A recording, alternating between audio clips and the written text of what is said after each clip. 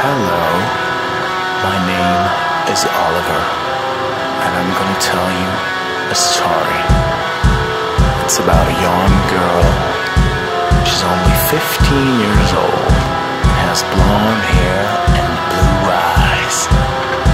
She lives with her parents in New Jersey, and they love her very much. One night, she and her friends decided they were gonna come to New York City.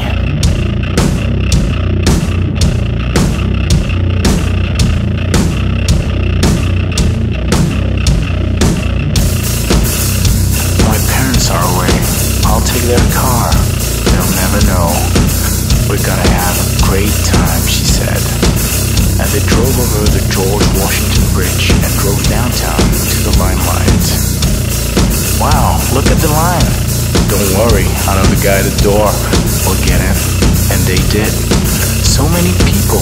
Look at that guy's shoes. They must be a mile high. And she turned around and bumped into a really cute guy. They had a good time. They danced for hours and hours, and she had a few drinks too.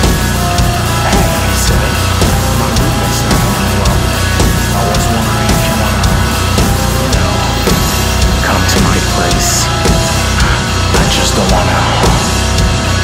I just don't wanna be alone.